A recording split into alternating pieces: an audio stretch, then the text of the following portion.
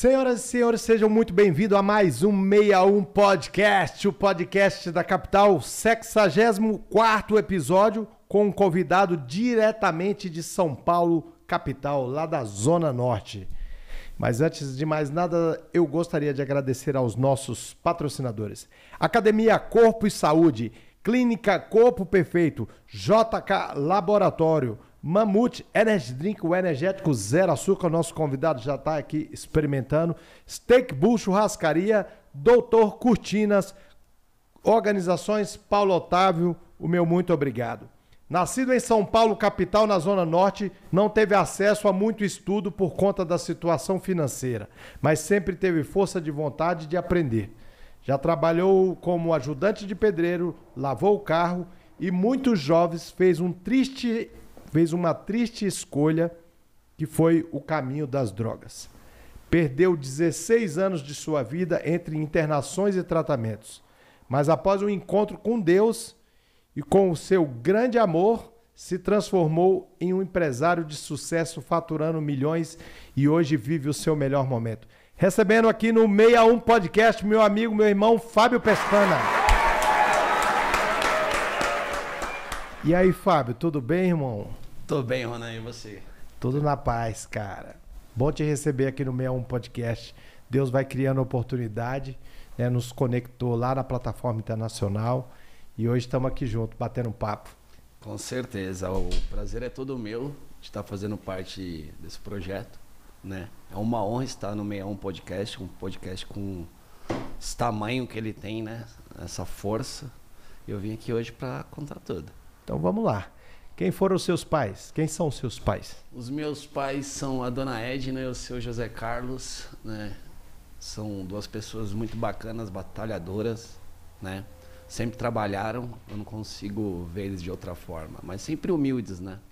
Paulistas? Paulistas da capital, né? Minha mãe sempre morou na Zona Norte, meu, meu pai morava mais na. pouco próximo à Serra. E eles se conheceram ali num, num bar que meu avô tinha, cara. Uma história muito doida que minha mãe me contou que ela não queria nada com meu pai. E ele queria algo com ela, né?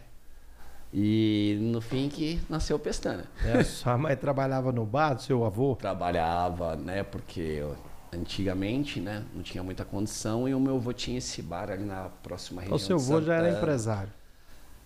Era. Meu avô trabalhou no Ceasa muitos anos atrás, né, cara? Ele que mano, ordenava as paradas lá assim por alto.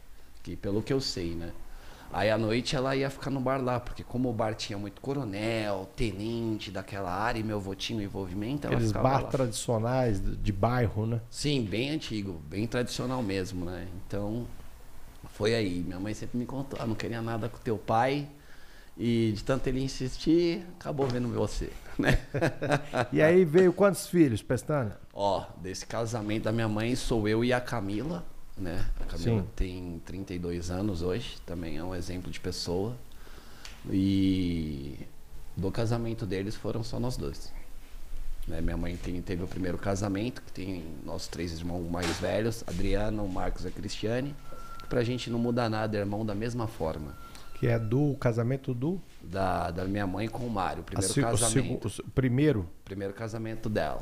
Ela né? teve um primeiro casamento. Teve, rompeu, né? Teve duas fi dois filhos? Três. Três, Três filhos. filhos. no primeiro casamento. Adriana, Marcos e Cristiane. E aí no segundo casamento Teve, foi aí seu veio pai? Fábio e Camila. Sim, então são cinco filhos. Somos em cinco ao total. Cinco filhos da dona Ed. E aí, mano, você nasceu lá em São Paulo, qual que era a sua correria? Ó, nasci em São Paulo, na Zona Norte, às 8 horas da manhã, no Hospital de Mirim, São José, se não me falha a memória, o nome do hospital que é antigo, tá? Cara, o meu rolê começou muito louco, cara. Porque, assim, minha família inteira é cristã, né? Eu sempre fui criado nesse meio. E eu sempre me senti um peixe fora d'água. A realidade é essa, né? Sempre me senti um peixe fora d'água, sempre me incomodava com algumas coisas. E sempre tive esse sonho de ser algo diferente. Bem diferente mesmo, né? Tive o lado voltado meu para tecnologia desde moleque. Desde moleque mesmo, que eu fui fascinado, sou fascinado em jogos, né? Games. E desde então eu não conseguia me encontrar num CLT, algo normal. Tentei, tentei com por diversas vezes trabalhar CLT, tanto que em registro em carteira eu tenho dois, cara.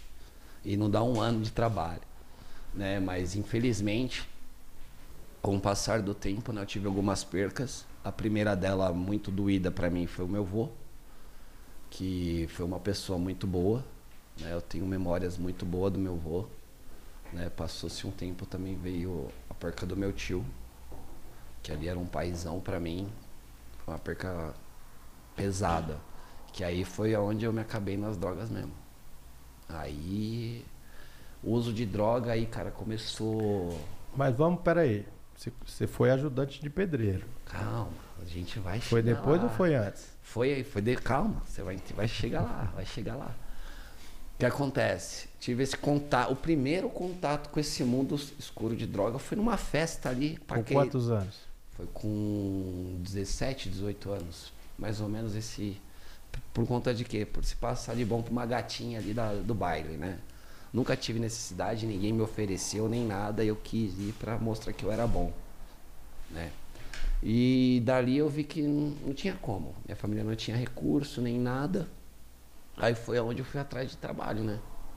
Sim. Tentei algumas coisas, trabalhei com um primo meu de ajudante de pedreiro. Qual foi a droga que você experimentou? Cocaína. Cocaína. Cocaína. Numa festa para impressionar uma gata. Exatamente. Ali foi a desgraça da minha vida. E aí né? você só pensou em trabalhar depois que você consumiu, queria mais droga e É, aí... porque não tem como, né? Recurso. um saco de família por conta disso é horrível, né?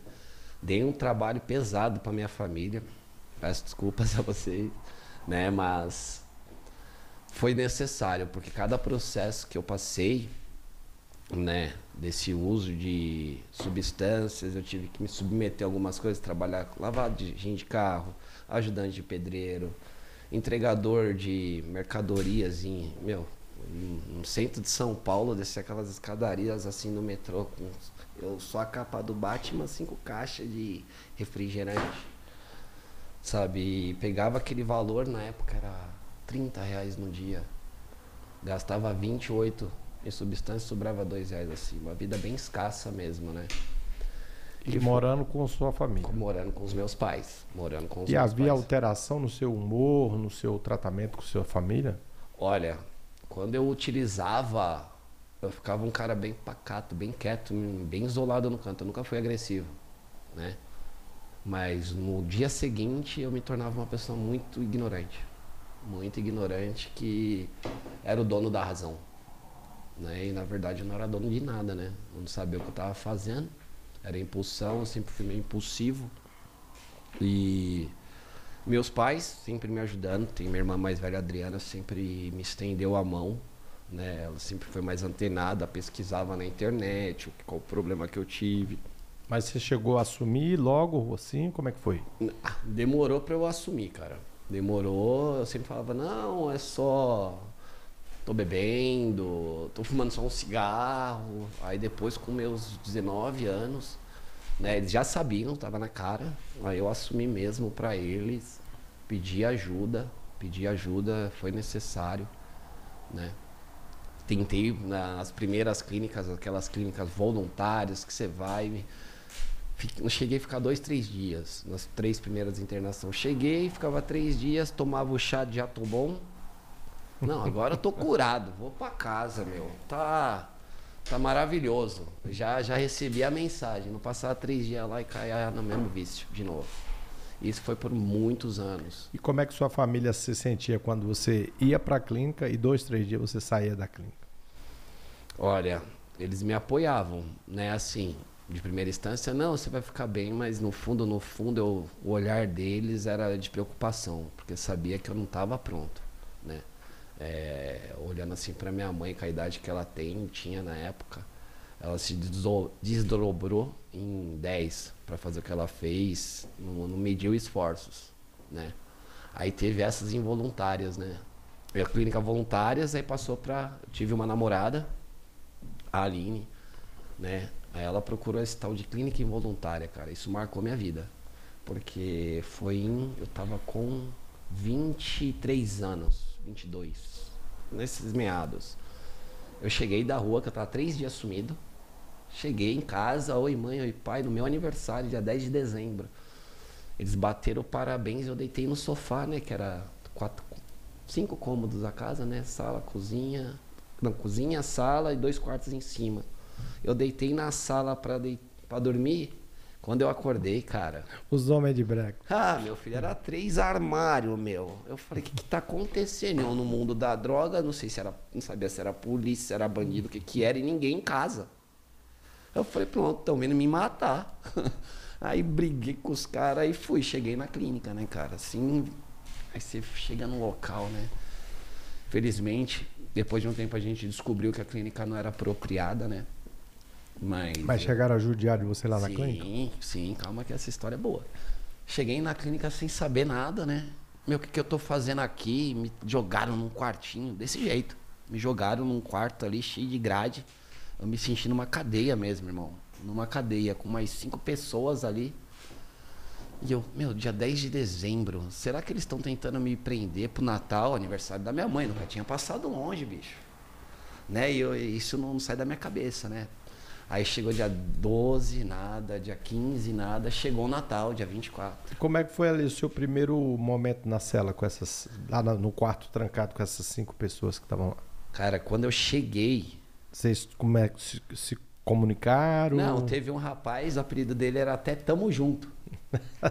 apelido, do, eu nunca esqueço desse cara, gente boa, ele lembrava, a fisionomia dele lembrava o meu pai. Então eu me aproximei bastante desse cara. Aí ele falou, ah, prestando aqui, a parada é o seguinte, tem que andar na linha, que se não andar, couro come. Eu, pô, mas estamos pagando, né? Pelo que eu sei, minha mãe deve estar tá pagando. Não, aqui não tem boi não, irmão. Aí eu já na primeira noite não dormi, né? Com medo. Né? Debaixo de uma janela, um lençol, um frio do caramba, né, meu? E, e algum relato do, dos outros? Não, comentaram na, no primeiro dia, assim, só esse cara falou comigo. Tinha uns caras no outro quarto ali, não falaram nada, né? Só deram boa noite, tudo bem. Aí, no outro dia de manhã, levaram um café lá, um pão com uma mistura louca lá, que eu nem, posso falar que é um café, né? Enfim. Aí eu perguntei, pô, o que que tá acontecendo, gente? Eu sei que aqui aparentemente foi uma clínica, mas o que, que tá acontecendo? Que eu tô preso. E olhando da janela, a outra rapaziada toda solta. Campo de futebol, tirando uma onda. E eu preso, né? Aí você começa a pensar na vida, Ronan. Nesse momento que você perde tudo, você começa a pensar na vida, nas oportunidades, os conselhos, né? Muitas vezes minha mãe, meus, meus irmãos falando, né? Que a gente teve exemplos na família também. Passou uma semana, eles me tiraram ali daquele quarto que chamava UD, Unidade de Desintoxicação, lembrei. Unidade de Desintoxicação. Fui para o convívio. E você não ficou com abstinência? Não, abstinência era todo dia gritante. Nessa época eu não, não conseguia identificar o que era abstinência e o que não era. Eu posso falar que eu era bem imaturo. Né? Eu achava que eu era bom, eu parava a hora que eu queria, mas mentira. Mas a maioria dos dependentes químicos são assim, né? Eles acham que para a hora que quer, bebe quando quer, usa droga quando quer. Por 16 uma anos auto, eu pensei isso, cara. Uma soberba, uma autossuficiência, é, que é contraditória, né? Sim, tem, tem ser humanos, ô Ronan, tem caras que eu conheço no dia de hoje que ainda faz uso, você olha pro camarada, você não fala que ele usou. Ele usa aquela quantia e tá certo, mas esse é um em um milhão. Geralmente, e mas esse que está ainda tendo esse uso controlado, logo logo perde o controle. E leva a vida normal? Consegue levar, usar a droga e levar a vida normal? Nos Chegar no horário? dias você consegue. Ter responsabilidade com os compromissos? Nos primeiros dias você consegue porque eu consegui também. Só que depois vira rotina. Aí no primeiro dia, vamos dar um exemplo, você usou, ah, não deu nada, meu chefe não viu, estou trabalhando, etc. Mas no segundo, você já começa a esculachar. Aí quando você vê, cara, você já tá usando no trabalho todo dia. Eu já vivi isso, tá? E é horrível. Mas voltando para a clínica, e o que você. Ah, minto. O que você perguntou, todo mundo acha que tá bom, né? Sim. Todo adicto acha que tem um Superman no peito, né? Só ele consegue sozinho a hora que ele quer. Mas é mentira, cara. Eu demorei 16 anos para descobrir que a minha salvação veio assim, não pelo pestana. Primeiro foi por Deus, cara, isso é certeza. E o segundo passo eu quis. Tanto que eu quis que eu fiquei mais de 84 finais de semana dentro de casa sem sair. Sem sair, preso no meu quarto, eu ali, eu e Deus, sabe, para eu me libertar disso. Eu tive que me sacrificar. Aniversário, festa, rolê, ver todo mundo saindo e eu dentro do meu quarto estudando. E tinha algum parceiro que você usava droga junto, colado? No início tinha vários, né? Mas no meu final eu como eu usava muito sozinho, eu me isolei no final, mas no início ali Isolou nessa... para não dividir a droga? Não, é porque nesse mundo é... você fica desconfiado. Você acha que o cara pode te bater, te matar, pode te roubar, porque quando você usa uma droga, irmão, droga com álcool, acabou a cabeça. Você não sabe o que o cara vai fazer. Né? Já teve episódios de eu chegar na minha casa, isso minha mãe me relatando. Eu lembrar de eu estar saindo da padaria que eu estava bebendo, mas não lembro do percurso de eu chegar em casa. Tava nesse nível. Entende? Eu não tinha controle. E minha mãe chegava, filho, pelo amor de Deus, não faz isso. Você saiu ontem, eu não vi, você chegou de um jeito diferente. E eu, mãe, como assim? Eu não fiz isso não, você tá doida? Dava um apagão, bicho. Porque já tava num nível bem progressivo, Sim. né? No, no meu final do uso, né? Mas nessa parte da clínica, Rona, voltando nela, porque tem um episódio muito bom. Aí, sei lá, no primeiro mês, chegou perto do Natal. Nisso daí eu já tinha aprontado umas duas na clínica, porque eu nunca fiquei preso. Aí eu vi os caras esculachando um senhor de 80 anos lá. Ah, eu fiquei louco. Eu falei, vocês são doidos, o cara tá pagando mais que todo mundo aqui na clínica. E vocês vão dar essa lavagem para ele, vão agredir um senhor. Ah, você não pode falar nada, vai para o D de novo. Essa foi a primeira. A segunda, por conta que sumiram, né? A família mandava goloseima, cigarro, etc. para você. Minha mãe mandava meu malboro, meus negócios chegavam cigarro leite, tudo mais do mais vagabundo. Aí você viu os caras que cuidavam de você usando suas coisas, bicho.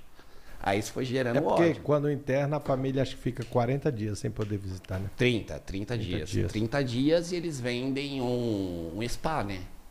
Você vai né, falando desse em específico, vende um spa. Você manda tudo, seu filho vai ser bem tratado, tem televisão no quarto, tem massagista, tem piscina, tem nada, você não usa nada. Tem muita clínica clandestina que faz isso, tá? Eu acho que ainda hoje deve ter. E passou o tempo, Ronan. Eu lembro a primeira visita que eu tive, isso marcou. Isso me marcou, que foi minha mãe e a Adriana, lá que é minha irmã mais velha, elas chegaram. Eu falei, Adriana, eu tô apanhando. E era real, os caras já tinham me dado uma coça, né? Ela, não, você tá mentindo. Mãe, eu tô apanhando, me tira daqui, pelo amor de Deus. Eu já tô bom. E tinha um cara da equipe que ficou circulando. E ele escutou o que eu falei. Na hora que elas deram um tchau, foi embora. Vai pra aldeia, pestana. Me amarraram, caibrada nas costas. Eu tenho as três marcas aqui nas costas, bicho.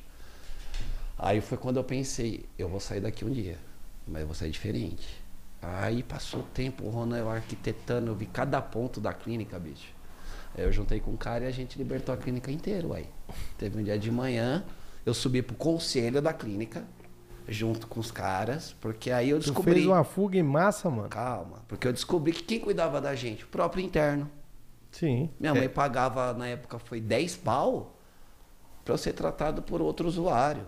E só que eles vendem que é um especialista. É, o usuário mais, mais antigo, né? É, isso é errado, porra. Aí quando eu descobri se o, quem estava na ponta já deu tempo dele. Eles saíram fora. A maioria saiu porque recaiu, tá? A real era essa.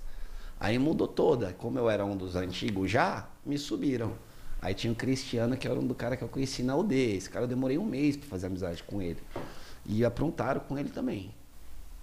Aí a gente falou, meu, tá errado. Vambora. Ele falou, vamos. Amanhã nós vai embora. Mas não vamos falar nada para ninguém. Chegou de manhã no café da manhã, todo mundo tomando café. Aí o rapaziada dela foi levantar, foi muito engraçado. Foi levantar para ir embora. Aí o Cristiano falou: senta aí que a gente vai dar um recado. Começamos a falar o que tá acontecendo. Aí ele falou: eu e o Pestana estamos indo embora. Quem quiser ir, vai com a gente. E levantamos, bicho. Cavalaria de 80 homens. E tinha uns caras desse tamanho. Quem segura 80 caras, irmão? Não segura. Eu libertei todo mundo e tinha um tio meu que tava comigo. Tanto que nessa primeira eu fui embora de táxi. Seu tio tava lá enterrado Tava, também? meu, a, irmã dele, meu tio, infelizmente hoje o seu Toninho faleceu. Eu tive um bom tempo com ele, um parceiro, parceirão. Mas minha tia, porque ele tinha problema com bebida, né? Sim. Aí, mesma coisa, minha mãe falou, o Fabinho tá lá, tá ficando bom, tá fazendo até pão lá no lugar. Eu só tava fazendo pão na época. Eu só vi meu tio passando, o que você tá fazendo aqui? E passou outro tio, aí deixaram interagindo comigo, conversando com ele. Daqui a pouco, o outro tio meu, que é o Luciano, que levou ele já tinha ido embora. Dois tios seus estavam internados Não, lá? um levou o outro. Porque o Toninho e o Luciano andavam junto. Ele enganou meu tio, falou que ia pra levar pra ver um cavalo. Que ele ia ficar no spa com um cavalo. Quando ele veio, ele ficou na, na, na boca do lobo também. Ronan, eles cara não queriam olhar pra minha cara por uma semana. Eu falei, tio, não tenho nada a ver, tô lascado tanto quanto você. Né? Aí fomos. Essa foi a primeira, né? Libertamos todo mundo. Eles falaram, vocês estão errados. Aí eu falei, errado. A então galera saiu, botou pressão no portão e saiu todo mundo. é, porque não tinha quem fazia a guarda era a gente. Então, meu, tava, a gente tava sendo roubado indiretamente, outras pessoas apanhando, senhores de idade sendo esculachados. Ah, não dá. Aí você via a dona da clínica chegando todo sábado para recolher dinheiro. Aí eu não aguentei não, Rona. A gente fez isso fugindo a primeira vez. Beleza, cheguei em casa, mas isso no ódio. Eu fugi no ódio, cara. Cheguei, eu sentei no quintal, fiquei pensando, fiquei pensando. Não deu dois dias, eu recaí, cara. Não deu E dois quando dias. sua mãe te viu, sua família? Ah, quando, tô- quando a gente libertou Chegou a e galera. Não, chegou, libertou a galera, eles saíram ligando, né? E ainda colocaram a culpa em mim, pra todo mundo. Foi o pestano que libertou os caras. E tu chegou em casa com seu tio? Chegou eu e meu tio. E aí, o que, que a galera... Nossa, eles olharam assim, o que, que você fez? Eu falei, uai, terminei meu tratamento. Só que do meu jeito. Aí eu expliquei a história lá, filho, que bom que você tá aqui, mas não poderia ter feito isso. Fizeram até uma recepção bacana, né, na época. Mas como as feridas ficaram, que eu pedi para eles me levarem embora. Não foi uma nem duas vezes. Todas as vezes que eles tinham visita, eu avisava. Mas aquele ditado, nenhum usuário tem, tem palavra. Você não tem credibilidade, irmão. Porque eu tinha perdido isso lá atrás. E o pior é que o usuário ele não entende isso. Não entende? Ele perde a credibilidade e, E acha que com um pedido de desculpa Tá tudo certo. tá tudo certo. Não. E Você já vai abrir a carteira ali e deixar na mão dele o cartão de crédito. Nada. Hoje, assim, depois de muitos anos, assim, pra minha família confiar em mim, demorou anos, Ronô. Faz três anos, quatro anos que minha família confia em mim, uai. Foi muito pouco tempo. Foi, foi com meus 30 mesmo que eu tomei a decisão de não querer esse mundo. Literalmente, né? Aí voltando, chegamos, fizemos dois dias eu recaí, bicho. Porque lá você não tratou a doença. E quando você recaía, você usava muita droga. Aí era.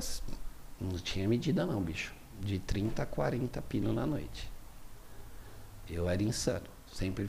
Eu sou o inimigo do fim. Eu sou intenso em tudo que eu faço, tanto pro bem quanto pro mal. E no uso do- da droga, quem usa droga, eles são assim. Né? Todo usuário, você pode reparar, eles são muito intensos. Sim. Muito intensos. E demora A noite não acaba. não, é infinita. Infinito, né? Até quando você tiver o último centavo ou alguma esperança de uma conta em um bar, você tá ali, né? Ou algum otário para pagar. Um, vários. Não é nem um otário, porque no caso o otário de pagar era eu, né? Porque eu não dependia das pessoas. Eu nunca fui esse usuário que dependia. Eu sempre fiz o meu rolê. Né? A gente não tinha recurso, mas eu sempre dei meu jeito. Tu ainda era um usuário gente boa, porque tu tinha seu próprio recurso. Tem Sim. uns usuários que quer usar o nosso dinheiro para usar droga, o nosso dinheiro para beber.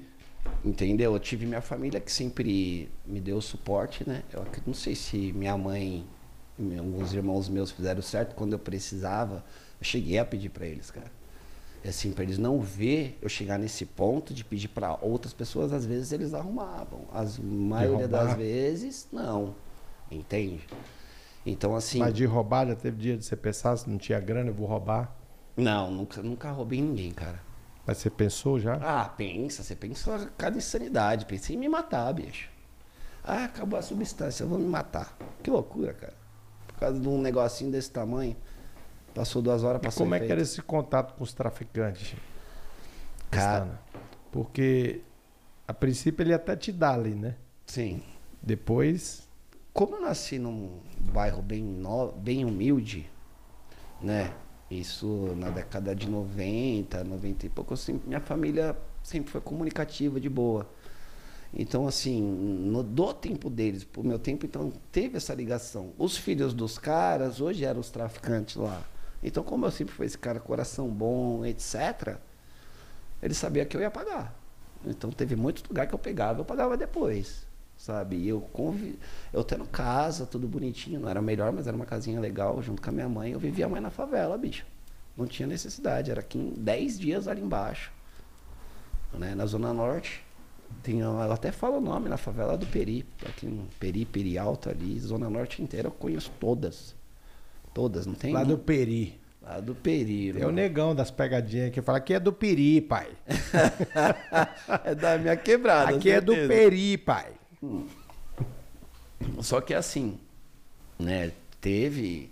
Eu cheguei a me envolver com esses caras, porque quando você não tem recurso, você tenta, você quer fazer tudo né? E assim, eu vejo muito Deus na minha vida, cara.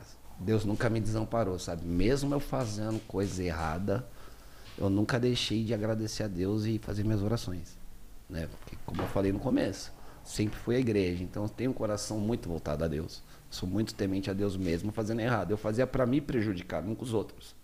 Na minha cabeça era isso. Mas na real que eu me prejudicava, prejudicava um todo.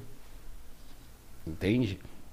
Então, assim, passou essa fase, ia lá embaixo, fazia, acontecia, três, quatro dias voltava em casa igual morto, né? Aí no outro dia, ignorante, ninguém que merecia, eu dava aquelas patadas, resposta ignorante, era agressivo, muito agressivo, e não era o meu instinto, era a ressaca dessa maldição, né? Então, cara, foi momentos muito tortuosos para mim, né? Bem difícil, Ronan. Assim, noites e noites em claros, cheguei a ver coisas né? Ver coisas. Assim, tá deitado, meio alucinado e ver coisas, cara. Loucura. Sem ter essa necessidade. Perdi parentes com isso. Meu tio foi um deles que perdi com droga. Tem um primo meu também que andou comigo e perdi, infelizmente, também. Isso bem no, no nosso início. Tudo overdose? Todos overdose. Todos overdose. E você chegou a traficar? Não vou falar que é traficar, mas eu ficava como olheiro. Né? Você ficava na ponta da rua, como eu tive um, tinha uma aparência mais de playboy, na real é essa. Então, ah, fica lá. Cara, você ficava o dia inteiro por conta de 50 pila e na real chegava à noite e voltava 20, porque no, no, durante o dia você pedia, ah, fala pro cara mandar lá pra mim, pra você ficar mais atento. pra adiantar. É, pra adiantar. E chegava, 12 horas de trampo pra ganhar 50 conto que virava 20 loucura, cara. Isso é algo que eu olho para trás só para me dar força para eu continuar seguindo onde eu estou. Né? Isso não deixa apagar nunca do meu coração. Não que eu tenha mágoa, mas para ver de onde Deus me tirou e os processos que eu passei. Não Sim. foram fáceis, não foi um, dois anos, foram 16 anos, meu. Sabe, ver pessoas morrendo, pessoas definhando. E pela misericórdia de Deus, eu aqui de pé, né? sempre tive vontade de trabalhar, cara. Assim, não tinha oportunidade por conta desse uso de drogas, as pessoas não davam oportunidade. Esquece, ah, o filho da dona Ed não é um louco. Ou nada. É, nisso, nesse período ainda minha irmã mais velha arrumou um trabalho para mim, né? Vou falar na editora Abril, né? Eu não consegui ficar muito tempo. Ela arrumou também, quando eu era mais novo, com uma, um amigo do marido dela. Minha irmã mais velha sempre, sempre investiu em mim, cara. Se tem uma pessoa que eu tenho que agradecer é a dona Edna e a Adriana, porque elas sempre investiram em mim. E elas nunca, sua família nunca desistiu de você, nunca, nunca cansou? Nunca, nunca. Tem, não todos, tá? Não todos, é, mas em específico, ó, minha mãe, minha irmã mais velha e a mais nova nunca desistiram de mim. Nunca. Nunca. Era qualquer suporte. E seu pai? Meu pai, é um exemplo de pessoa, cara. Assim, foi trabalhador, mas como na minha infância ele tinha problema com bebida, eu tenho alguns flashes meio negativos. Eu já busco ele na rua sem o pagamento caído. Isso é com 8 anos, 9 anos de idade, bicho. Teve dois episódios, um com 9 e outro com uns 12, 13. Foi quando ele tomou a decisão e virou para minha mãe assim: a partir de hoje eu não recebo mais meu dinheiro, quem recebe é você. Tanto que até hoje quem recebe o dinheiro dele é minha mãe. Meu pai hoje não bebe nada, não faz nada, tá firme na palavra de Deus. Hoje eu acho tão bonito que ele cuida do meu moleque, do Elias, como se fosse eu, que eu acredito que ele quer recuperar espaço-tempo. Eu sinto, eu sinto isso. Sim. E meu pai faz muito melhor que eu, tem horas, pô, porque às vezes eu não tô tão presente por causa do trabalho. E assim, a figura do meu pai, do José Carlos, para mim é um cara trabalhador. Né? Ele não teve tanta instrução também, tanto quanto eu, porque ele teve do pai dele nada, né, cara? Meu pai sempre trabalhou, só isso. Hoje ele é um exemplo, um cara cuidadoso, diferenciado, né? Mas É, ele nessa situação que você tava de ele cair, não tinha, voltar, não tinha estrutura. não- zero, zero, zero. Se depender, infelizmente, assim, se dependesse dele, ele já tinha largado de mão. Que meu pai é, é, é o insti- instinto dele, eu não posso criticá-lo. Foi o que aconteceu talvez com ele, com o pai dele ali, com a família dele, que a família do meu pai, cada um num canto e é isso. Assim, eu tenho uma irmã que eu não a conheço, que é a filha dele. Pra você ter ideia, a mãe da filha dele lá, que eu acho que é Andreline, o nome da garota. Na segunda vez que ele foi tentar ver, não deixaram, ele nunca mais foi. Não porque ele não quis. É porque proibiram ele, sabe? Sim. Então, assim, eu não, eu não julgo meu pai. Eu não posso julgar ele como eu fiz muito tempo passado, porque tudo que ele fez foi em prol da família. Todos os meus três irmãos mais velhos, ele tratou como os filhos dele. Tá? Tanto assim que o pai da minha irmã mais velha, antes de falecer, quem ajudou a cuidar dele foi meu pai, cara. Que Porque bacana. ele teve derrame e tudo mais, tava igual uma criança. Então meu pai trocava, limpava. Eu ficava jogando computador lá em cima. Eu, nem sei, eu lembro muito o seu Mário, né? Edna, o que, que esse menino tá fazendo lá em cima? Tá escondendo chocolate. Né? Eu tenho essas memórias dele. Eu descia, né? Aí a gente olhava do lado assim, Mário, cadê as bananas que a gente comprou? Eu não peguei nada. Aí no corredor assim, cheio de casca de banana, uma bala, né? Que isso que a gente viveu. E em cima disso que eu tô falando, eu vejo o que, que é ser homem de verdade. Né? Porque meu pai engoliu o orgulho, tudo, e cuidou de uma pessoa que não tinha necessidade. Ele deu o melhor dele ali na época. Eu vejo ele e minha mãe, e teve um respeito ali, tanto que meus irmãos hoje são muito gratos ao meu pai. Né? Tem uns players da minha vida que fizeram boa parte importante, mas no momento são eles que eu quero exaltar que eu tô falando aqui. Passado esse período de droga, Ronan, Como é que foi a virada de chave da droga? isso daí é o que eu ia entrar. Foi assim, no, foi em 2000, 2020, foi quando eu já tava querendo parar mesmo, né? Mas não, não tinha certeza. Só que eu tomei muita apunhalada nas costas, uma atrás da outra, de pessoas. E foi quando eu decidi, né? T- nasceu os meus filhos. A Esther já tinha nascido, minha filha, né? Eu tenho dois filhos, Esther e Elias. E uma das coisas que me partiu o coração pra eu parar foi ela virar do nada assim: Papai, eu não quero ver mais você triste. Você pode parar de fazer essas coisas? Ah, meu irmão. Aí veio minha sobrinha também falou a mesma coisa. Aí foi o que travou a garganta. E você olha assim, cara, e vem uma força do nada. E o pequenininho Elias ali, bem pequeno, né, cara, de berço, né, carrinho ali. Aí eu comecei a pegar força. A minha, meu combustível foi meus filhos, né, porque eu tenho um menino especial, o Elias é autista, não interfere em nada. E eu fui começando a caminhar. Tentei, né? Fora os tratamentos que eu fiz, cheguei a trabalhar já em clínicas, etc. Aí eu me apeguei em Deus. E como eu não tinha mais amigos, era só colegas, a realidade é essa, eu optei por me isolar no meu quarto. Que foi aonde que veio a onda do NFT, a onda do marketing digital, toda essa parada aí Mas você se isolou estudando. estudando. Né? Na princípio eu me isolei para ficar. Eu tava no meu mundo de jogos. Jogando. Que modéstia à parte, sou um pouco bom nisso. Mas não, eu perdi também tempo com isso. Fora a droga, tinha um jogo que me tomava meu tempo. Então era um Você gatilho. chegou a jogar apostado? Não, jogo normal mesmo. Sim. Jogo normal mesmo. O Mario, essas coisas, Call of Duty, essas paradas aí. Só que eu não, não gerava grana. Né? Aí eu fiz um canal, tanto que deu certo. Mas entre o jogo e estudar, eu preferi ir nesse mundo de empreendedorismo, marketing digital. Aí eu comecei a fuçar. Falei, pô, mano, se esse cara consegue fazer isso, eu consigo aí.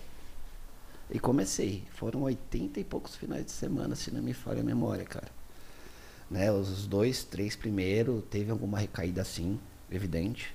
Mas teve uma, um, um dia, foi seis horas da manhã, eu dobrei meu joelho no quarto e falei, Deus, é a primeira vez que eu tô pedindo isso com vontade.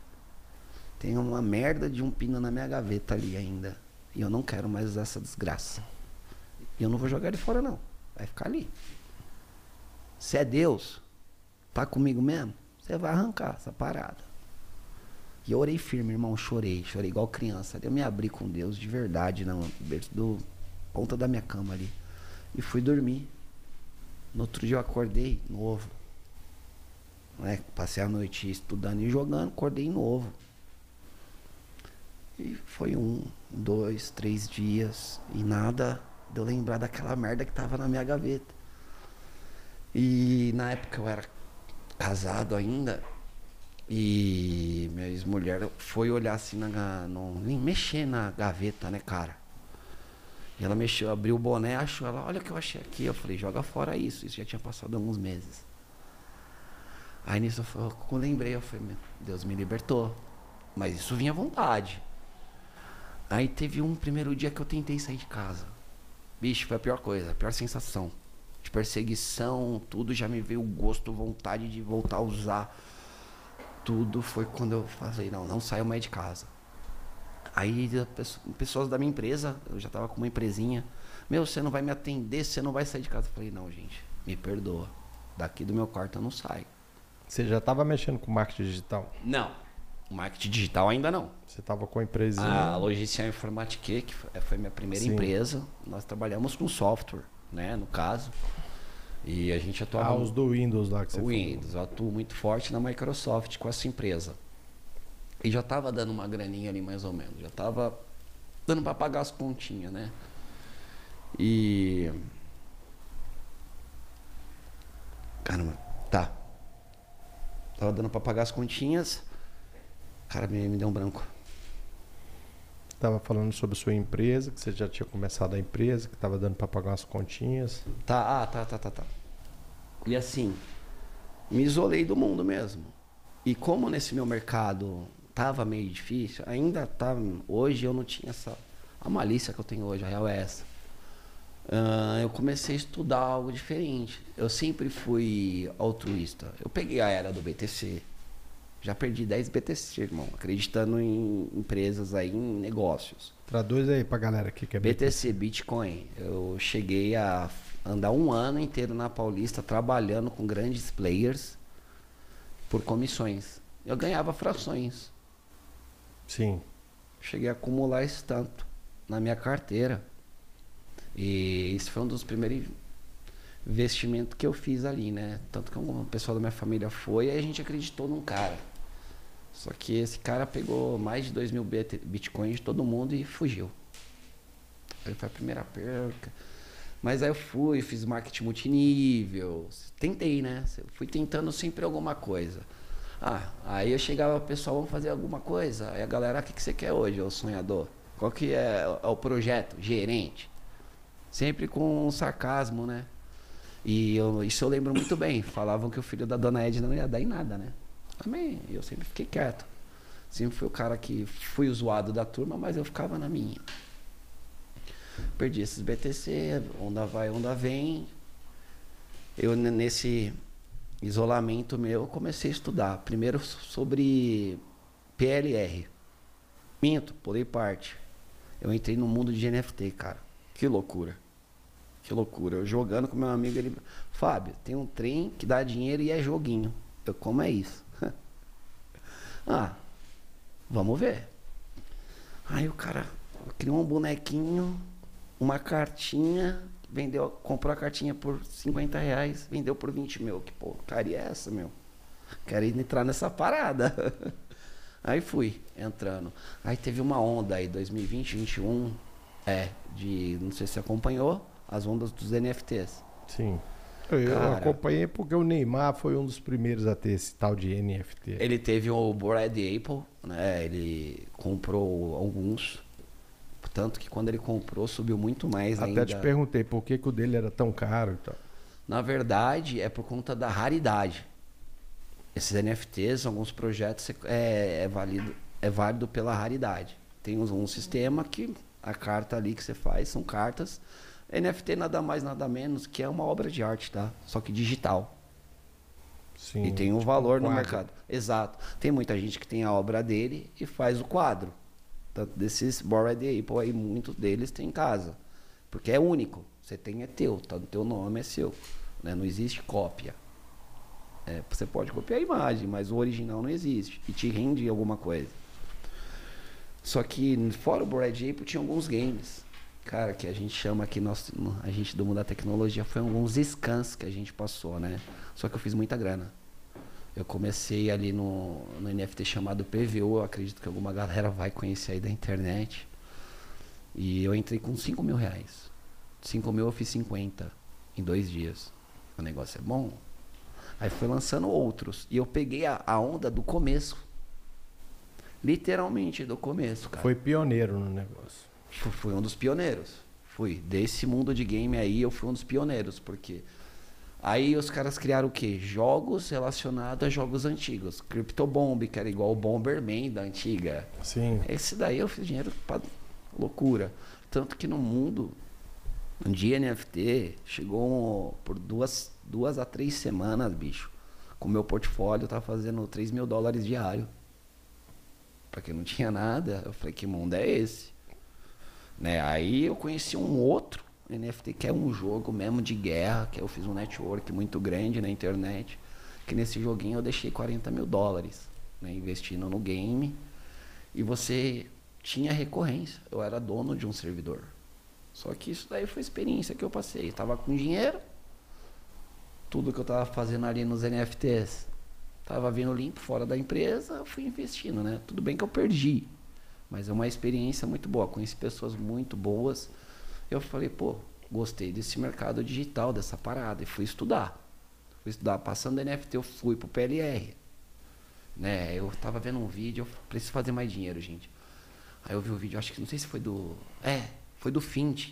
Eu não conhecia ele ainda. E no meu Facebook eu tinha visto o vídeo dele. Eu, mano, quem é esse Ken humano? Que ele parecia um Ken, né, meu? Me desculpa, Fint. Aí foi uma vez, duas vezes. Aí na terceira vez eu falei, pô, o cara tá aparecendo muito, eu quero ver o conteúdo dele. Cara, que conteúdo excelente. Aí com o blazer azul dele, ele falando. Aí eu fui mergulhar pra estudar, cara. Eu fiquei uma semana estudando ele. Aí eu pulei pra outras galeras. Aí você vai galgando, né, o Ronan? Você vai entendendo, fui tentar fazer alguns lançamentos. Aí PLR, pra quem não sabe, é Private Label Sellers, né? Você compra direito de vender um e-book. Né? Comprei alguns e-books de fora, você traz, traduz e modela a seu, do seu jeito. Eu tentei lançar uns de emagrecimento, não, não rolou muito, não foi muito ok. E Eu vi um, um podcast de um, um jovenzinho aí que tava com 17 anos, que tinha batido 10 milhões na pandemia. O, Kaique Janivesk. esse cara aí. Foi ele que me levou para LR. Eu tenho a mentoria dele. Foi a primeira mentoria que eu investi na minha vida foi do Kaique. E eu não me arrependo. Ele ficou fazendo um pitch aí que não ia, não ia, não ia disponibilizar nenhum curso, que não ia, que não ia. De repente ele botou o curso dele. Eu lembro que nessa noite que ele, que ele disponibilizou o curso dele na Capify e deu queda. Não conseguiu. A Capify caiu Sim, de sim, tanta sim. venda. Sim, é que caiu. Caiu, porque o menino, ó, modéstia à parte, o menino é bom. O menino é bom. E assim, o curso dele foi excelente. O nome do curso é Mente Milionária. né? Eu lembro até na época, eu falei, Adriana, vamos comprar isso daqui. Ela, meu, você tá maluco? Você acredita nesses caras, né? Minha família é bem tradicional, né, cara? Eu sempre fui meio maluco. Sempre eh, tive fé nessas coisas. Porque se um faz, eu posso fazer. Essa é a minha metodologia. Se o cara fez, eu posso fazer. Se ele não fez, eu faço. Eu acredito nisso. E através desse curso eu entendi o que era um tráfego pago, o que, que era um, um videomaker, quem é um copy, como você faz uma landing page, como você faz um checkout, o que, que era pixel. Porque hoje a galera fala, meu, tô no celular, eu digito energético. Daqui a pouco eu vou no Facebook, tem energético no Facebook, no Instagram e tudo. Né? Isso é pixel. Esse é o famoso pixel. Aquele dia a gente estava jantando, a sua noiva falou de eventos, começou a aparecer para mim a organização de eventos. É, porque hoje, para quem não sabe, o celular de todo mundo, vocês acham que o celular não divulga o que vocês estão falando mesmo, desligar, divulga. Ele capta tudo. Né? O local e a fala, mesmo desligado, desse jeito aqui, o celular está captando.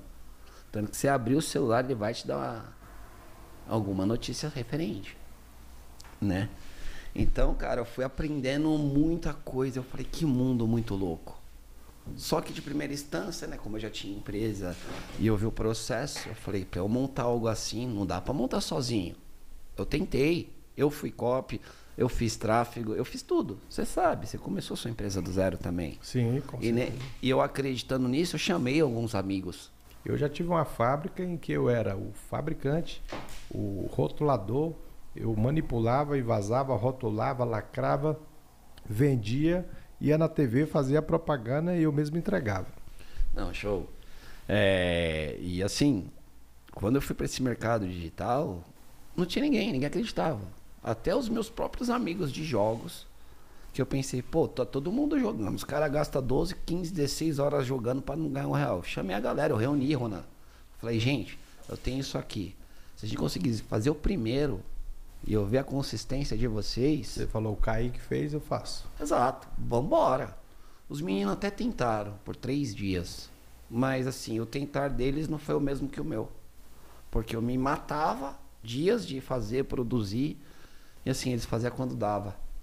Então não casou uma coisa na outra. Né? O meu sonho era o meu sonho, não era o sonho deles. E eles me zoaram. E a tua necessidade não era a necessidade deles. Exatamente, para eles estava bom, né? Minha empresa já não estava andando muito bem, então eu estava procurando outros meios, né? Eu estava procurando outros meios. Aí eu tentei fazer por conta. Lancei, meu primeiro foi de emagrecimento, eu tive duas vendas.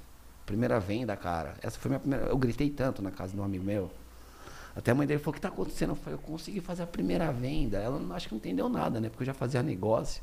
Mas a primeira venda no digital, Online. PLR, que loucura. Eu falei, consegui. Era um curso? É, eu fiz um. Um e-book? Um e-book para emagrecimento. Tinha informações muito boas que eu peguei de sites renomados, peguei com, é, instrução com alguns personal, alguma, alguma. Que eu peguei essas dicas no curso do Kaique, né? Melhor Sim. de você tentar fazer sozinho. Chega perto de um expert, mostra o que você tem e vê se ele pode colaborar. E muitos colaboraram comigo. Tem até uma prima minha que deixou usar a imagem dela para ser a capa do e-book, que ela é modelo. Sim. Teve alguma galera que me apoiou em alguma parte, mas não 100%. Tentei, não deu certo. Aí eu falei pra galera. Mas tá, vendeu um. Vendi um, tá beleza. Aí eu não desisti, por conta desse um, dois, na real, né? Eu não desisti por conta desses dois, né? E foi indo, Ronan. Não Aí, tinha opção, né, Pestana? Não tinha, porque assim, se você desiste, você não ia mudar de vida, mano. Não. Não ia, porque se eu desisto ali, eu vou só pro tradicional. E graças a Deus eu sempre tive. Não sei se é um que elevado para essa parada, ver que a tecnologia tava indo para esse lado do digital, do marketing. Aí veio a pandemia. A pandemia foi loucura. Eu me arrependo muito de ter focado só na minha empresa na pandemia, porque hoje eu falo com diversos empresários que abriram outros nichos, outras coisas, e eu tive acesso a muita coisa. Que eu tive um amigo, hoje infelizmente não tenho mais hoje, que é o Rafa Torres. Na pandemia ele era muito forte em medicamento. Ele me chamou e eu neguei, né? Oportunidades que vêm assim. Eu foquei só no meu ali e a gente ficou bem trancado. A pandemia, minha família ficou trancada dentro de casa, cara. Não saímos para nada. Então, assim, a pandemia eu não tenho muita memória. O que aconteceu na rua era o que eu via na televisão. Fora isso, eu ficava no meu computador lá, no meu mundo, o mundo do, de pestana. Não teve rolê, não teve nada. Eu fiquei, na pandemia eu fiquei bem preso. Né? A minha família ficou bem preso. Mas, voltando pro digital, aí eu falei, pô, esse PLR é complicado, porque aí você vai estudando o mercado. tem pessoas aí, eu não vou falar nomes, enfim, que desenvolvem alguns produtos de PLR inventando a cura, exemplo, para hepatite. É loucura, é mentira. Como eu sou cristão, eu não curto muito mentira, velho. Não curto, na real, nada de mentira. E o Espírito Santo me incomodou. Aí eu deixei o PLR de lado. Querendo ou não, eu tava inventando uma história, eu inventei um personagem, inventei em tudo. Eu sou um pouco bom em copy.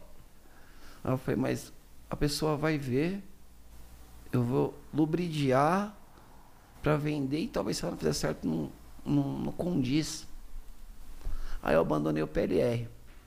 Aí eu na, na internet, no YouTube, fui entrar na plataforma da QIFI e aí eu vi uma postagem ali. Faturei 10 milhões sem roteiro. Aí eu fui ver o podcast ali, papapá, do Juan Dave. Aí eu falei, pô, o cara é brabo. O cara é brabo. Ele linkou uma coisa na outra. Aí o que, que é drop? Fui estudar, Ronan. Comi tela cinco dias direto. Vi como é que faz, como isso. Tanto que eu consegui me conectar com esse cara. Isso foi muito Deus na minha vida, porque ele já era grandão. Eu não conhecia nenhum player grande aí desse mercado até então. E eu chamei a atenção desse cara. Porque a Oi não estava resolvendo o problema dele lá no Rio de Janeiro. Eu fiz uma postagem no Insta e marquei a Oi. Ah, na hora. Ela me respondeu e nem ele entendeu. Aí conectou, né? Fez aquele raporzinho. E ele me levou para próximo dele. E, cara, é uma realidade que o, o Juan falou isso há tempos e veio na minha memória.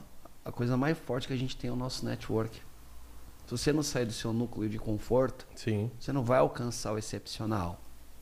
Né? Porque o Pestana não. Se eu for parar para te falar, Rona, o Pestana ali na Vila Malha, que é onde eu moro, era só aquele mundo. Você não via um carro importado, você não via ninguém bem sucedido, você não via ninguém nada, só via o pessoal na mesmice. Entrava ano, saía ano, era só o feliz ano novo e a, a vida uma desgraça. Então eu nunca me conformei com isso. Nunca. Nunca. Eu sempre tive dentro do meu coração que eu sei algo a mais. Não é ser soberbo, nem nada, nem maluco, cara. Mas eu sempre tive um sonho. Né? E, eu- e esse sonho de, de pelo menos. Mas Cristo deixou esse aí pra gente, né? Exatamente. Eu vim para que tenha vida e vida em abundância. Sim. É, Cristo não está satisfeito com ninguém viver na miséria, na pobreza. O problema de, da maioria das pessoas é que elas não perguntam como eu vou sair desse estado que eu tô para um estado melhor. E, e em cima disso que você está falando, Rona, é engraçado que assim, tem algumas pessoas que perguntam até o como. Pergunta, como que você fez? Como você está ganhando? Aí você fala, você gasta uma, duas horas falando com a pessoa. Só que a pessoa esquece de executar. A teoria é muito gostoso, bate-papo é gostoso. Mas é que nem na Bíblia, cara. Eu vou, vou, vou voltar. Você vai numa igreja tradicional. Você vê o irmãozinho ali, 10 anos pedindo para Deus, Deus me abençoa, Deus me abençoa. E você passa 10 anos, você vê que Deus não abençoa o cara. Aí você vê o cara, o cara vai na igreja, oferta, dizima, parará. Mas na hora de executar o que Deus manda ele executar, ele não sai do mover. Ele acha que Deus vai vir pegar o cara na mão, vamos, filho. Não, não é assim. Até a oração, né? É ora e age. Exatamente, exatamente. Tanto que quando você vê Pedro ali, Jesus caminhando sobre as águas, faz assim para Pedro, ele teve que agir, cara. Tanto que quando ele perdeu a fé, ele caiu. Sim. Né? Você tem que ter primeiro a fé e ir para cima. O não, todo ser humano nasceu com o não. Todo mundo já nasceu meio cancelado, vamos dizer assim. Pelado, banguelo, só com choro. Todo ser humano nasceu assim, cara. E com não garantido. Você tem que buscar o sim, que é o que eu sempre vim buscando, né? Cara, a vida é fácil, não é? Às vezes você vai acordar de manhã todo feliz, vai vir uns baldes de água fria. Mas só não tem jeito para morte. Exato. O resto tem jeito. O resto tem, cara, porque se eu for analisar a vida do Pestana hoje, atual, e a de anos atrás, eu não me imaginaria num, num podcast. Imaginaria eu andar no meio da galera que a gente anda hoje. Entende? Con- Conectar com pessoas. E o melhor, Pestano, anda e é respeitado. É, isso daí é honra, é, eu deixo essa honra pra Deus, cara, porque é, eu sou um humilde servo. É, se ele viu graça na minha pessoa para eu chegar até aqui e transbordar, é a graça é dele. Né? Eu fico feliz muito com as minhas conquistas, mas a honra sempre é dele, tudo para ele, sempre para ele, porque para ele é todas as coisas, irmão. Então, assim, hoje eu vivo o excepcional de Deus na minha vida. A realidade é essa, se eu pudesse passar uma mensagem para todo mundo desse podcast, assim, que Deus é muito bom, mano. Eu falo assim até na igreja. Deus é muito bom e muito louco. O meu Deus é muito bom e muito louco, porque ele pega as coisas mais loucas, que tem um coração mais puro, e faz ele sentar. Tanto que, igual você, se sentou em meio de príncipes. De onde você veio, onde você chegou, cara. Que exemplo, né? Eu sentei com um ex-presidente, né? Com graça esse contato com o Rafael, ele me conectou com muitas pessoas grandes, né? Então, assim, eu cheguei em locais que eu nunca imaginei. Que pessoas do meu próprio convívio não acreditaria mas se eu ficasse na Vila Amália ali, eu não ia sair daquilo, mas eu saí, eu fui buscar. Sempre tentei, eu sempre acreditei nas pessoas. Todo mundo me chamava de besta, porque eu não tenho tanta maldade no coração, todo mundo tem, né? Mas eu não tenho realmente, né? Porque as pessoas lá pensando é isso, eu acredito e vou para cima. Vou para cima, né?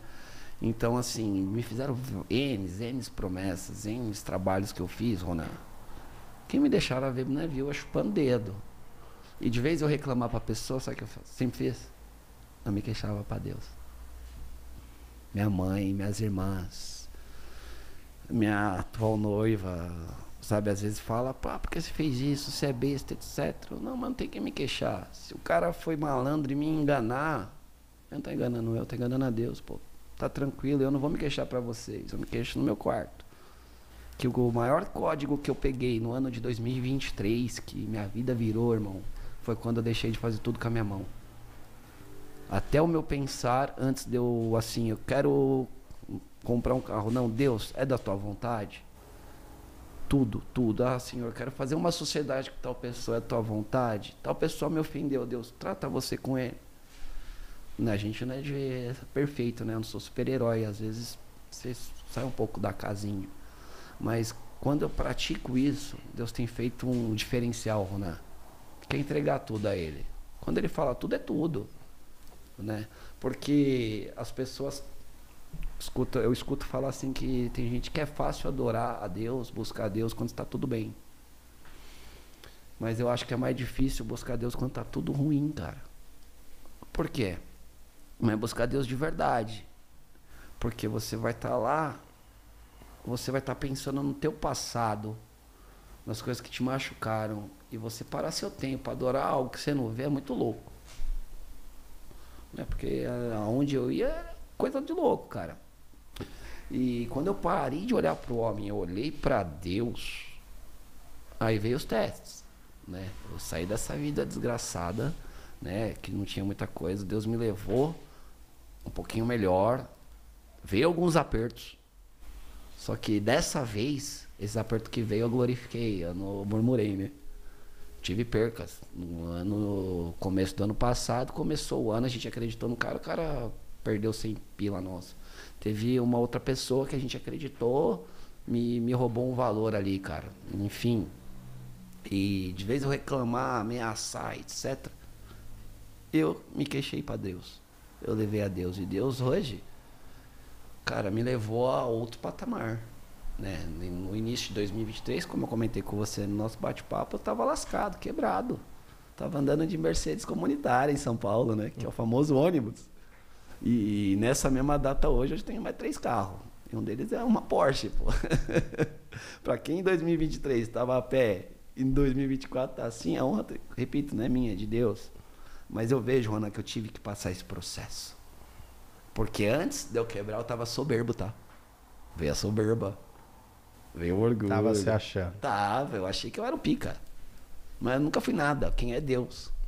Né? Então ele foi permissão eu quebrar, foi permissão eu passar por tudo isso, porque eu já não aguentava andar. Eu falei, meu, eu tô andando de ônibus de novo, que loucura. E com a galera, andando no centro, Parará, que eu montei uma. junto com o João, uma expedição em São Paulo. Do início ao fim com ele, cara tudo, trajeto, fornecedor, barará, chamei pessoas, eu montei tudo. Né? Na época, por um mês e meio, eu banquei toda essa equipe com o meu. O meu do meu bolso. Eu não ganhando muito. E esse multimilionário não dava nada. E ele vendeu uma história ali louca. Mas enfim. Amém, a vida seja com ele. E foi onde que eu passei alguns processos. Né? Eu vi esse mundo, aprendi o drop, vi como que é, vi que o sistema, o ouro não está no, no produto, está no sistema. Né? Quem tem um sistema muito bom, você consegue servir o público melhor. E eu fui aprendendo, meu. E, e engraçado, falando de Deus, que Deus criou uma situação que eu tive que sair desse local.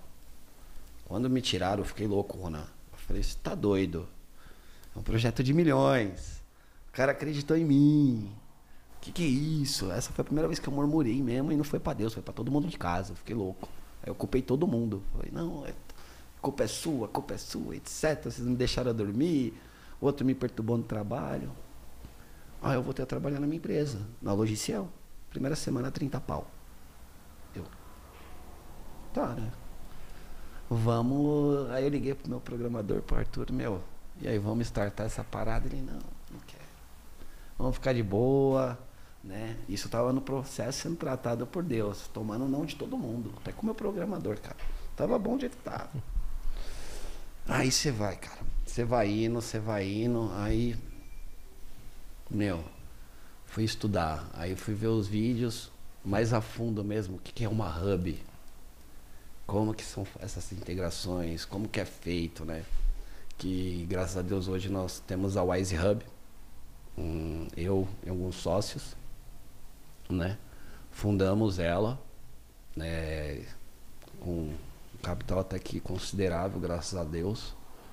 E hoje já temos alguns alunos aí consideráveis, né? Só que isso quieto, sem divulgar para Brasil, para o mundo, do nosso jeitinho, né? E depois do nosso encontro que nós tivemos lá no, no ecossistema que nós passamos, fez a virada de chave para eu abrir para a galera, né? Então, assim, foi algo o que Deus tem feito, fazendo é muito louco. É muito louco, Ronaldo. E quando você criou a Hub, você viu a necessidade, a dor de alguns empresários? Quando, assim, antes de ser Wise Hub, é RP Wise, né? Era só um RP normal, bem forte. Tem mais de se 10 anos construído, mas desde que eu tô junto, uns 5, 6 anos ali mais ou menos. E foi construído com, em cima de dores. Esse sistema nosso, literalmente, foi construído em cima de dores de cada cliente, cada nicho específico. A ideia nossa era atacar só empresas, né? Porque eh, nós temos mais de 50 módulos dentro do nosso sistema ali, parte financeira, contábil, meu, comercial, controle bem completo. Muito completo, por sinal. E literalmente foi pegando informações, exemplo, Ronan, como é que tá o sistema com você? Pô, Fábio, tá ruim no despacho ali, tal, tal, tal, se fizesse um botão assim, assado, vai ficar da hora? Pô, Arthur, o que, que você acha? Pumba. Que nem um negócio do WhatsApp, quando eu vi ele já tinha criado. Quando eu vi o programador já criou. O teu sócio. É, o Arthur. Ele é. Esse, esse moleque não existe. Ele, eu acho que é de outro planeta, né, cara?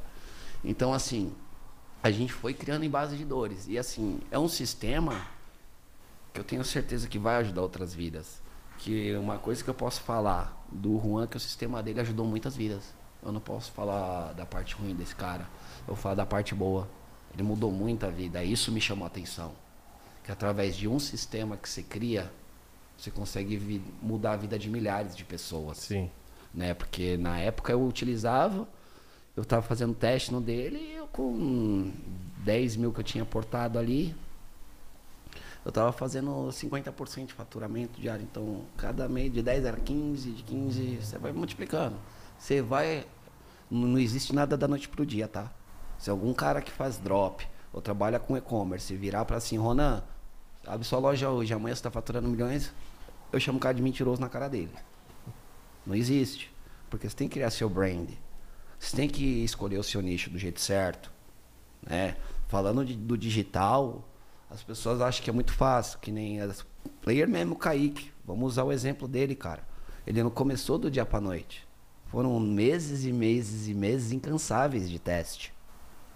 Para quando deu certo um produto, ele duplicou a escala. Isso é para qualquer parte do digital. Tanto que até a, a, gente sabe que tudo a gente tem que testar.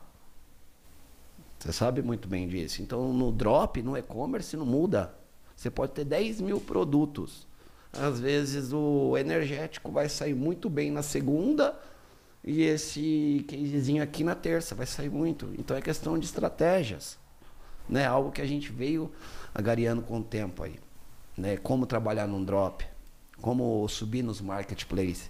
Querendo ou não, modéstia à parte, eu tenho umas estratégias fora de curva. Porque eu, eu sei como posicionar a sua loja dentro desses marketplaces, porque eu fiz na unha, sozinho, sem ninguém me ensinar. Né? Eu fiz, tinha ali o curso ali do, do menino, mas o curso não tinha nada no curso. Era um curso que não tinha um curso. Que para subir na plataforma, a gravação da aula era de 2018, isso era 2023. Então, meu espaço-tempo ali, bem grande, né? Como você ia subir o, a sua loja na Shopee com um vídeo antigo. Então, tipo, eu e um dos meus sócios, a gente subiu tudo na unha. E a gente foi vendedor. E isso a gente já criando o Wise Hub.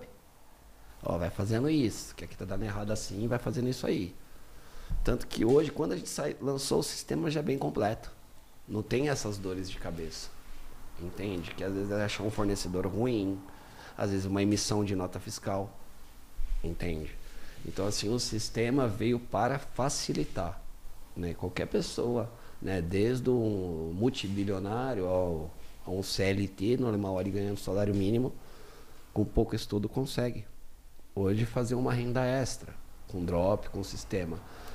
Dá para você fazer por conta, se abrir sua continha no Mercado Livre, escolher um produto e dá, dá sim, mas você vai ter que se muito mais tempo. Né? Porque a graça da Hub é que tá você e mais 3 mil alunos. Subir um produto, todo mundo vai subir junto, vai sufocar o marketing. Então todo mundo vai vender. Sim. É automático. Porque eu pensa comigo, o Mercado Livre viu um produto, essa plaqueta, né? Aquela plaqueta ali. O Ronan subiu aquela plaqueta para vender, só ela, só você. Vai aparecer para um ou outro. Pensa o Ronan e mais mil pessoas subindo a mesma plaqueta. Próprio Mercado Livre, o que está acontecendo? Vamos espalhar isso daí para mais galera. No automático. Então cria um algo orgânico. Né? Hoje, para quem trabalha no natural, com e-commerce, tem que emitir a própria nota fiscal, a etiqueta, embalar, despachar. A Hub hoje, quem está dentro da Hub não precisa de nada disso. Ele só precisa clicar. Eu quero esse produto em tantos marketplaces, quero X porcentagem de lucro, ok. Vendeu? Próprio galera da minha expedição faz tudo. O cliente não tem trabalho de nada. Então, assim, para quem não tem tempo, para quem não entende muito, é uma mão na roda, literalmente. Né? Dá para a galera fazer uma renda extra bacana, sim, sem dúvidas. Né? Tem parcerias com grandes importadores. Hoje, né, nós contamos com grandes importadores, com produtos exclusivos. E é algo que tem feito a diferença na vida de muita gente. Né? A parte do bem-sucedido, que eu acredito que eu dei uma pulada, foi na Logicial Informatique, o meu plus aí foi com licitações, né? Sim. Eu sou tenho expertise em licitações em alguns nichos. E primeira milha foi com isso, né, cara? Ganhei eu não posso falar do órgão, né? Mas foi um órgão foi 500 pila e teve mais outros que foi quando eu vi minha conta tinha uma milha. Falei, que loucura. Que que é isso, gente? Né? E muita gente bate milhão e fica feliz, né? Que eu bati eu não, não tinha visto. Porque eu não tinha educação financeira nenhuma, tá? Do mesmo jeito que eu bati milhão, foi menos de seis meses para eu quebrar tudo. Primeiro tombo foi menos de seis meses. Gastou tudo? Oxi, fácil, fácil. Com aqueles amigos da onça, né? Apareceram? Opa, o pestano é o brabo, vamos ali, vamos aqui, vamos ali. Aí viagem 20 conto, não sei o que lá, sai com mulheres erradas, gasta mó grana, se acha que é o, o bam bam bam, né? Tem esse defe... Tinha esse defeito de se achar o tal. Então eu perdi tudo em muito tempo. Me lasquei em algumas dívidas, né? Mas aí foi quando eu vi que, cara, é você por você mesmo. As pessoas boas estão em outros ambientes, né? No, eu, eu procurava no meu ambiente ali, naquele núcleo, só naquele núcleo. É o que eu costumo dizer. Você faz escolhas. E as escolhas que você fez faz você. Tem uma frase que eu uso, tá até no meu Insta, né? Decisões decidem destinos, irmão. É, eu decidi naquele dia subir naquele palco. Hoje eu tô aqui. Né? Eu decidi virar pro digital, criei um sistema maravilhoso. Decidi a voltar a servir a Deus, Deus escancarou as portas, né? Eu sou muito abençoado. Não posso nem dizer no termo financeiramente, mas o que Deus tem feito na minha família como um todo. Tá estruturando um pouquinho para cada um ali. Você vê Deus brilhando, é muito louco, meu. Parte da minha família tem alguns que não estão porque assim, não se posicionaram. Sim. Não tem como eu ir lá e pegar. Porque eu já passei por experiências de eu tentar ajudar alguém próximo e minha vida se atrapalhar igualzinha da pessoa. Faz igual o, o... Foi Abraão que levou Ló, né? Deus falou: afasta da tua parentela e vá para onde eu vou mandar. E ele carregou o sobrinho. Levou o problema. E o problema persistiu por muito tempo. Né? É algo que é muito, muito forte hoje, entendo, cara. Você tem que olhar muito, ter muito cuidado quem está atuando. Triplicar o cuidado quem tem, tu põe dentro da tua casa. Antigamente eu não tinha nada disso. Eu colocava qualquer um lá dentro de casa, meu. Loucura. Conheci o cara, ah, meu, meu irmão. Não, irmão nada, meu. Você não sabe o cara carrega por trás. Né? Às vezes você não sabe a intenção do ser humano. Sim. É coisa de louco, meu. Então, assim. Cara. E aí você gastou aquele milhão que você ganhou e como é que você recompôs? Cara, aí foi loucura. Foi loucura, né? Isso daí, esse gasto foi com coisas totalmente ilícitas, né? Bebida, etc, enfim. Droga não. Com certeza. Voltou pra droga? Não, mas isso daí, eu, eu tô mais de quatro anos limpo. Isso daí foi antes. Ah, sim. Tá? É que eu só tinha pulado essa parte, esqueci de pontuar esse detalhe. E esses um milhão você faturou nos drop? Não. Na. Em licitação com licença. Ah, Cara, licitação. Ah, eu te falo, foram cinco SQL Server, cada um mais de 100 pau. Cada um. Foi uma venda loucura né? Na época, assim, eu falei, meu Deus, o que, que é isso? O que, que é isso que eu estou fazendo? Tanto minha irmã mais velha, quando eles, meus, alguns irmãos meus trabalham comigo hoje, na hora que eu mostrei o balanço, eles nem eles entenderam. Né? Porque o primeiro ano 80 mil, o outro ano foi uma mil e pouca, depois um, um e pouco, 700k, foi o 2023 que eu tinha me lascado, foi 700k. Mas outros anos tudo milhão. Entendeu? Só o primeiro ano que foi 30 mil. Né? Isso com a licitação. O drop, com o drop, com a loja, cara, foi nas escalas. Né? Lançando um ou outro, a gente conseguiu bater algumas metas.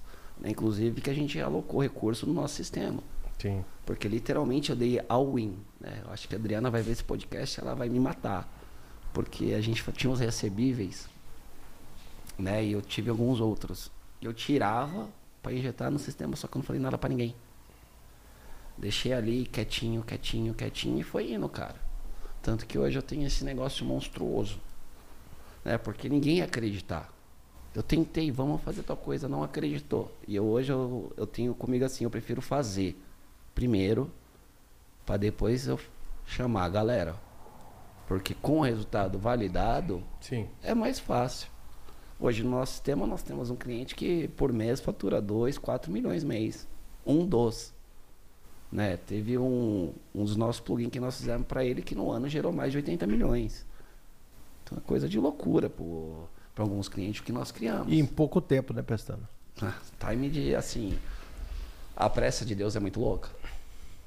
Meu amigo, nós temos um quadro aqui chamado Curte ou Esquece. Eu vou pedir a produção para colocar na tela a primeira imagem com Fábio Pestana. Então vamos lá. Primeira imagem, diretor.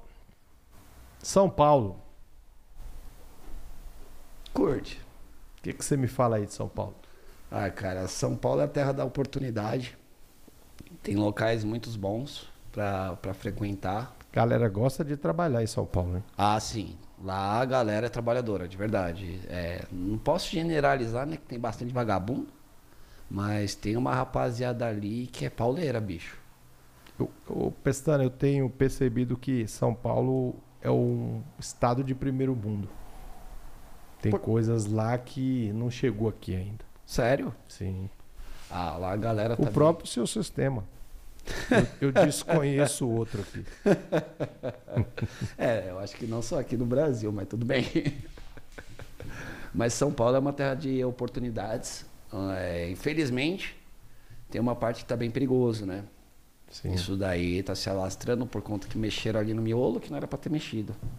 Então espalhou muita gente ali para cidades de bairro. Ah, a galera da Cracolândia espalhou. Espalhou, então isso daí, que nem lá onde eu moro, tem um cara que a primeira vez que eu vi ele, ele tava na Paulista, né? E depois tava na Cracolândia. Hoje ele pede coisa lá perto de casa. O andarilho, bicho. Então você vê como saiu do centro, eles vão pulverizando. Sim. Né? Então, e a criminalidade bairros, vai dissipando. Vai. Vai, cara, tá? Tem essa parte em alguns bairros aí que é bem complicado. Mas tirando esse lado, é uma terra muito boa, porque é muito 24 horas, né? Tem sim, tudo. Sim. E aí tem o nosso pedacinho lá, né, Alphaville. Ah, ali é um outro mundo dentro de São Paulo, né? Ali Ali meu coração até arde, irmão. Essa nossa. Minha segunda casa agora nossa, é Alphaville. Nossa segunda casa, né, irmão? Curte ou esquece? Curto. Claro que Pestana curte São Paulo. Próximo diretor. Drogas. Já falamos aqui é. bastante sobre drogas. Drogas. Drogas, drogas, esquece, mas olhando essa imagem que são alguns tipos de drogas, é, toda da segunda para direita tinha que ser extinta, né? Porque hoje a primeira aqui, que você pode ver que é a cannabis, é essa cannabis errada, que é a maconha. Né? Galera, hoje tem muita coisa tóxica, mas dessa planta, hoje está saindo medicamentos muito bons. Inclusive uma tia avó minha que estava com Alzheimer tomando canabidiol, Sim. voltou a falar melhor, voltou a pensar melhor, etc. Eu entrevistei o deputado que criou a lei para liberação do canabidiol no Brasil. Está aqui o deputado Rodrigo Delmasso, meu amigo. Forte abraço para você, Rodrigo Delmasso. Então, um forte abraço para você, porque você vem salvando muita gente, cara. A filha dele tinha 30 paradas cardíacas por dia. Sério? Quando começou a usar o canabidiol, cessou. Sim, sim. Meu, é, essa medicina é fantástica. Aí, extrair esse insumo dessa planta para algo do bem, eu achei fantástico. Isso eu achei fantástico, né? Porque Qualquer uma dessas outras aí é muito, é, tem muito químico.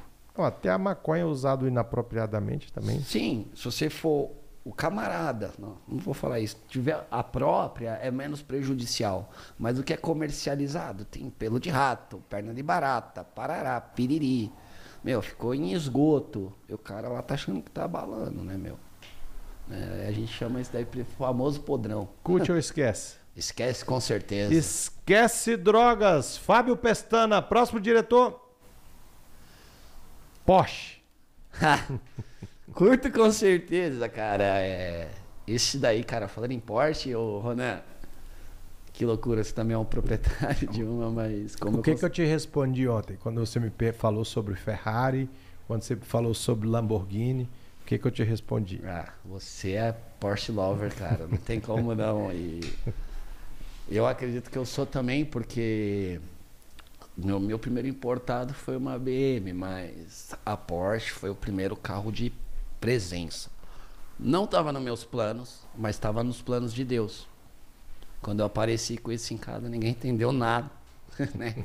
Até me emociono por dentro, porque foi uma da, dos sinais de Deus que minha vida estava virando, sabe, cara? E até minha noiva que está hoje para eu pegar esse carro foi algo bem, bem louco, né? Eu tinha uma Land Rover, que eu tinha acabado de comprar também no ano passado.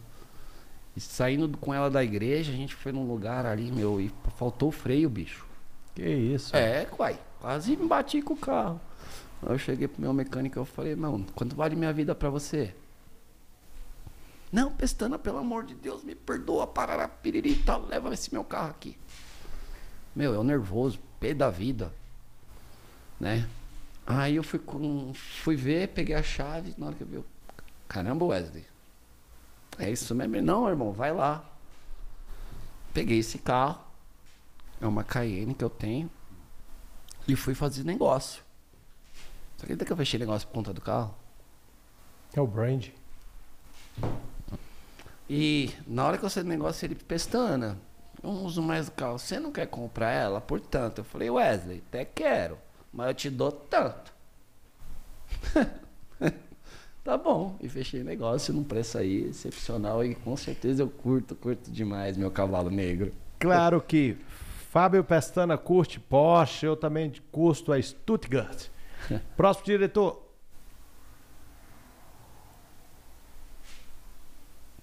Pablo Massal. Curto. Com certeza eu curto, porque a mensagem desse cara aí que é levar a palavra do reino para mim e do jeito que ele leva é algo que eu tive no meu coração desde menino. Porque tem os religiosos de plantão que lê a Bíblia, interpreta de uma forma meio errada, né? E fica à mercê do homem. E esquece que Deus que manda a parada. Então, assim, eu curto ele porque ele prega o reino.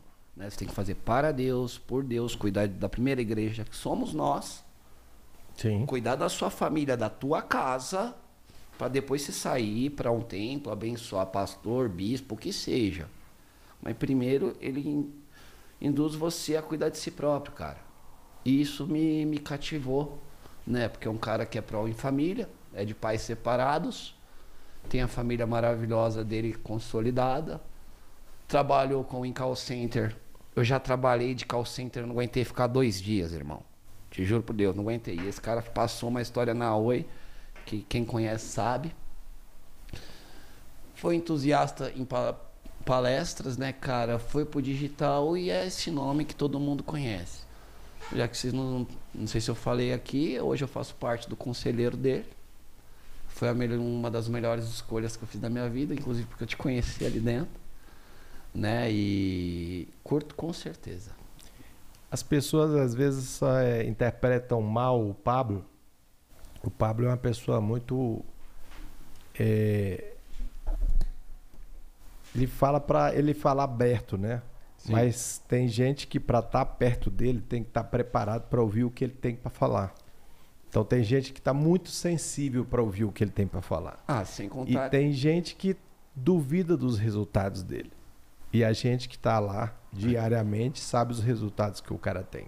Ah, cara, se eu for analisar, tem uma chuva de hater falando ali dele, partes do helicóptero, barará, biriri. Eu peço para todo mundo, pega o vídeo na íntegra. Porque tem um contexto por trás. Essa onda de corte, tem o corte do bem e o corte do mal. Né? E o, o Pablo acho que tem muito inimigo aí, eu tenho certeza. Ainda mais né, na situação atual. Então, corte negativo é muito mais propenso a. E sabe qual o triste desses inimigos? Ah. Que eles não têm resultados. Não tem. É, a falo. maioria que ataca as pessoas que têm resultados são pessoas que não têm, têm zero resultado. E às vezes o cara tá. Eu já peguei tanto código com o Pablo, já aumentou tanto é, é, o meu o meu conhecimento humano, mais humano, porque não adianta você saber sobre ter conhecimento profissional, ter conhecimento técnico, se você não tiver o conhecimento humano.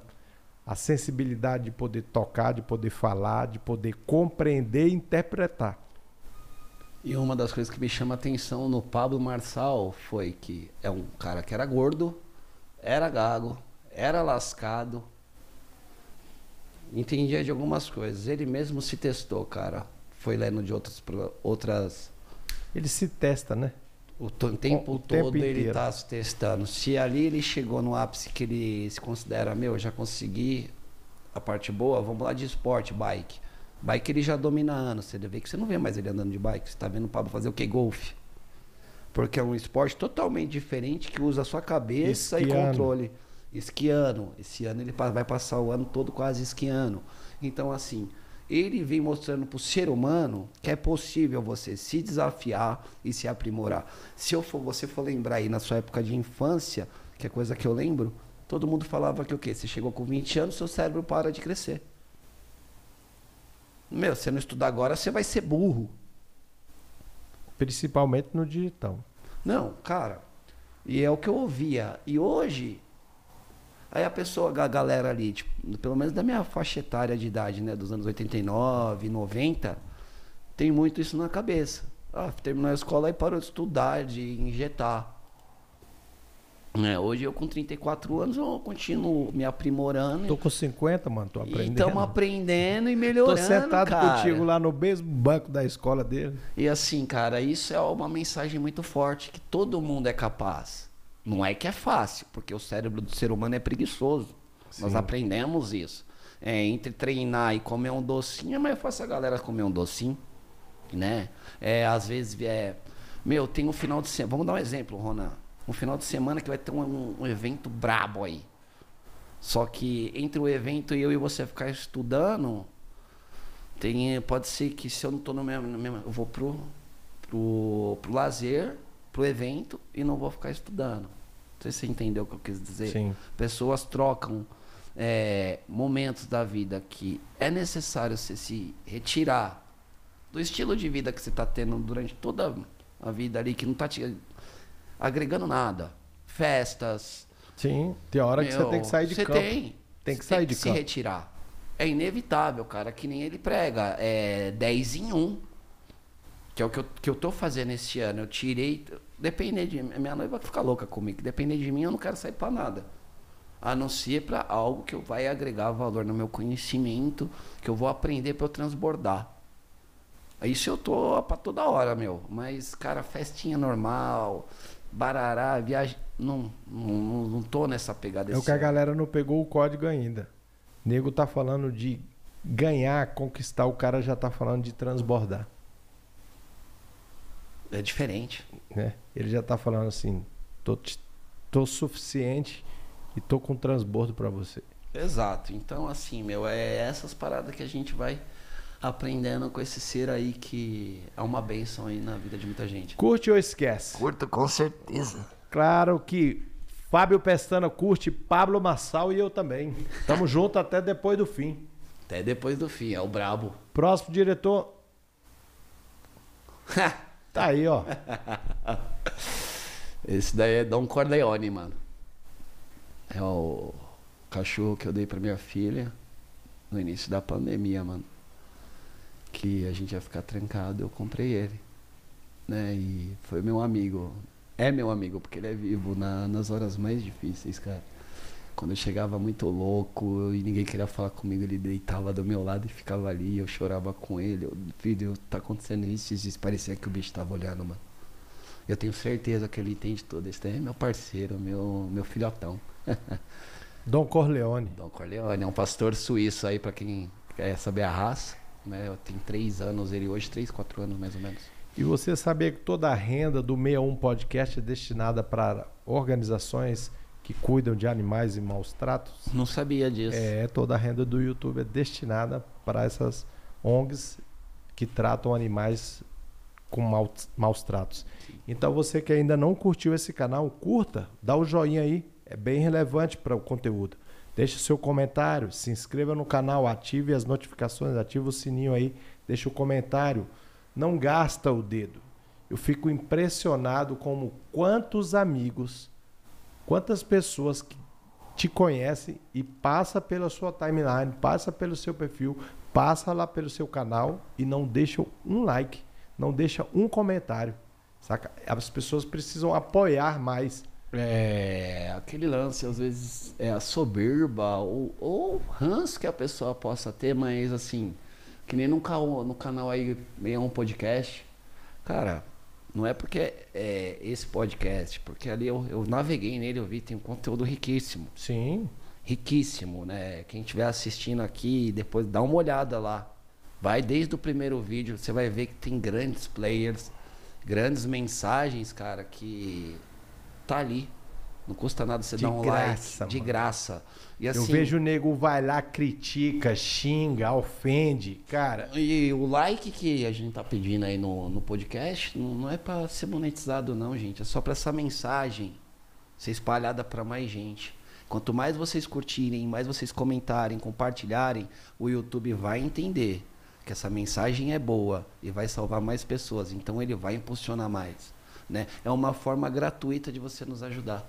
Né? Ajudar com o certeza, canal. todos os players que passaram por aqui, que sentaram aqui, contaram suas histórias de vida, que acrescentou na vida de muita gente. Então dá um likezinho aí agora. Curte ou esquece? Curto, com É certeza. Dom Corleone? Dom Corleone. Claro que Fábio Pestana curte o Dom Corleone. Próximo diretor? Esse Tá aí, daí é seu o. pequeno, o bravo. Esse é o brabo, é o Elias Goku, mano. Elias Goku, é um Saiyajin, meu filho. ah, sim, é um nome que é loucura dar pra um filho, mas. Como é que é o nome dele? Elias Goku. Gokuro. Goku? Goku? É. Por causa do personagem, do- dos joguinhos É, exatamente. você gostava de jogar? E assim, cara, é o meu tudo. Ele é autista, grau leve, inteligentíssimo, organizado, muito bom com letras. Com quatro anos fala por... tem as falas português e inglês dele. Às vezes ele pede em inglês, pede em português, quando ele quer. Do nada sai cantando A, B, C, D, E, F, D. E vai indo, né? É, é um carinha que me ensinou a ter uma atenção diferente, né? Tô aprendendo a amar ele cada dia, eu curto o Elias com certeza, é meu pôr do sol, é meu tudo. Com quantos anos ele tá, Pestana? Já tá indo pra fazer cinco agora. Cinco anos. Tá, tá, tá batendo no cinco aí agora em. A menina é mais velha. né? A Teté tem seis, vai fazer sete agora em abril. Curte ou esquece? Curto, amo, com certeza. Claro que Fábio Pestana curte o seu pequeno aí. Forte abraço, garoto. Em breve vamos nos conhecer. Próximo diretor. Ah, essa daí é a famosa mãe, Dona né? Edna. Essa é uma guerreira, irmão. Curto, curto, curto com tudo. Porque o que essa mulher passou, não só comigo, com o irmão, com o parente, com. Cara, ela segurou um time de futebol nas costas, posso te dizer. Minha mãe é aquela que tira da conta dela, faz empréstimo para ajudar as pessoas. Né? E o ensinamento que eu tenho da minha mãe é que a gente não deve arrumar confusão com as pessoas desnecessariamente. A gente tem que sempre ser humilde, tem que ajudar as pessoas, não importa se eles vão valorizar ou não. Não importa se você vai receber um obrigado. O importa é o que você vai estar fazendo e o que Deus vai estar vendo. Minha mãe trabalhou em casas de pessoas né, ricas. Minha mãe, para quem não sabe, foi doméstica, uma empregada. Nunca mexeu em dinheiro de seu ninguém. E cansava de ver roupa dos outros que ninguém poderia nem saber, né? E um exemplo da minha mãe é isso, cara. Uma serva de Deus que ela não mede esforço para servir a Deus, cara. Se tiver que sair daqui para ir na Conchinchina, ela vai. Ela vai. Então, minha mãe eu curto com certeza. Dona, Edna. Dona Edna, um forte abraço, Dona Edna. Claro que Fábio Pestana curte a Dona Edna. Próximo diretor. Uou! A galera aí. Da esquerda para a direita, Ana Clara, minha sobrinha. A direita é minha irmã mais nova, que é a mãe dela. A direita dela tá o Davi, que é o marido dela. E eu. E a, na última ali a minha noiva, Giovana Martinez. Né? Com certeza eu curto esses quatro aí, né? Essa é a sua irmã mais velha. É a mais nova. A mais nova. Essa é a legítima. Essa daí é minha parceirona. Que é do mesmo pai. do mesmo pai. Né? Hoje ela assumiu o salão que eu tinha, né? ela toma conta, passei pra ela e tá vivendo também. Tu tinha um salão, mano? Tinha, Tu- mano. Tu nem contou isso pra gente? Ah! tinha, pô. A gente faz algumas coisas aí, né? Numas, passei alguma coisinha, né? Porque eu quero outro convite pra vir aqui, né? Eu não posso entregar tudo Tem o. Pestana 2. Tem, tem, tem outras partes aí que a gente é empreendedor. Curte ou esquece? Curto com certeza. Claro que Fábio Pestana curte aí a irmã mais nova, a sobrinha, a cunhada e a noiva. O cunhado. O cunhado e a noiva. Próximo diretor. Uou! Essa aí é a mais velha. Eita, essa daí é a mais velha, mais experiente. Aí a Adriana, o marido dela é Edson Ronaldo, esse é um baita de um big motociclista, renomado aí no mundo do motociclismo. Na É esquerda- mesmo? É. É, e da esquerda é o filho deles, o Ronaldinho. Esse daí é o nosso orgulho, cara. Ele qual o tipo de moto que ele anda? Hoje ele tem uma Harley, né? Ele é raleiro, também, igual tá. você. Ele fez parte já que eu me lembro, do Falcões Motoclube, Sim. se já ouviu falar. Do Falcões ele foi pro Hawk Riders. Do Hawk Riders agora ele tá no Los Condes, né? Meu cunhado tem milhões de quilômetros andados em Roda estrada. o Brasil e o mundo inteiro. Brasil, já foi pro Suaia umas quatro, cinco vezes de moto. E tua irmã vai junto? Opa! Os três. Ah, o, o pequeno também lá, o mais novo? Pequeno que tá com 20 todos, tá na Austrália agora. É E- mesmo? Esse daí é um crânio, estudou muito pra entrar no ITA e chegou uma hora que eu não quero mais não. Foi na USP e passou em primeiro. Que isso? Ele Fazendo vai- o quê? Tecnologia? Mecatrônica. Mecatrônica. Se não me falha a memória, é mecatrônica, é isso mesmo. Ele tá Estão desenvolvendo aí algumas peças Roma? de aviões. Estão em Roma? Estão aí? em Roma aí. Curte ou esquece? Pestana? Curto, amo, com certeza, são meus exemplos. Claro que o Fábio Pestana curte essa turminha aí. Próximo diretor. Tá aí, meu irmão. Futura primeira dama. Exatamente, essa daí. Sua é- noiva Giovana. Essa garota aí foi. Que eu encontrei quando eu tava bem machucadinho. Acredito que ela também. Deus não une pessoas, une propósitos, né? E ela veio com os mínimos detalhes que eu orei pra Deus. Quando, eu tinha. Quando né, eu separei, eu tinha falado que eu não, ia, não queria mais ninguém por no mínimo dois anos. Aí vem Deus e muda tudo, né? Porque eu falei, Deus, se for pra eu ter alguém, eu quero a pessoa assim, assim, assim, assim, assim, assado. Pareceu. E Deus é engraçado, que ela tem uns defeitos que, tipo assim, que minha irmã e minha sobrinha têm que eu odiei. Então, assim, Deus manda a prova junto. E eu não reclamo. Porque faz eu lembrar da minha família, faz eu entender que na época eu era meio ruim com eles. E com ela eu tô aprendendo a ser um cara muito melhor. Ela tá re- resgatando uma parte humana do Pestana que já tava morto. Por conta que 16 anos de uso de droga, bicho, você perde o tato. Né? Que é detalhes, carinho e etc. Então essa daí eu curto com certeza, filho. Com certeza. Meu querido, eu tenho certeza que se você orou, Deus te mandou o que ele tinha de melhor. E se ela orou, Deus mandou o que tinha de melhor. Então eu desejo que você seja o príncipe escolhido por Deus para ela e desejo que ela seja a princesa escolhida para você. Show.